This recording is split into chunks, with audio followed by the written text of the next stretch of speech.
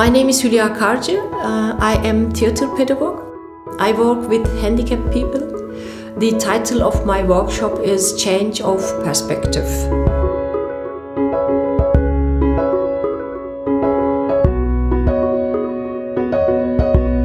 I'm Dietmar, I'm the workshop leader and um, my profession is drama teacher. I use this method in, in many projects I make in Berlin. Um, for example, in a Jews museum, we have an interactive exhibition and there we use many, many things um, which we do in this course. And we work with several classes and they all like these interactive methods. Yesterday um, we done the exercise with the balloons.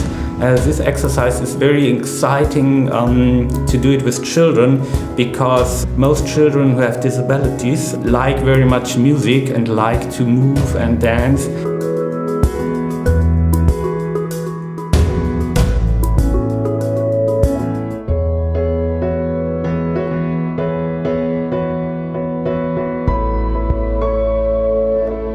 all the exercises for me are uh, very energizer uh, and uh, they give me trust and faith that uh, uh, these exercises can be used at my class with my special children.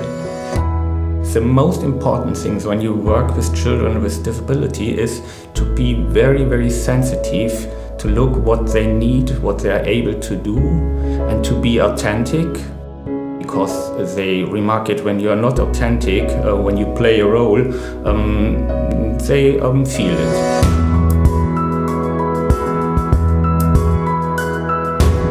And it's also very, very important to have fun, to say to children, have fun.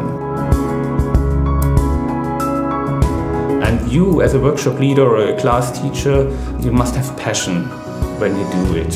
It's, and then it runs. Anything that can develop my students uh, is uh, interesting and I'm really happy that I can learn new ideas, new games. Yeah, I'm grateful. Mm -hmm.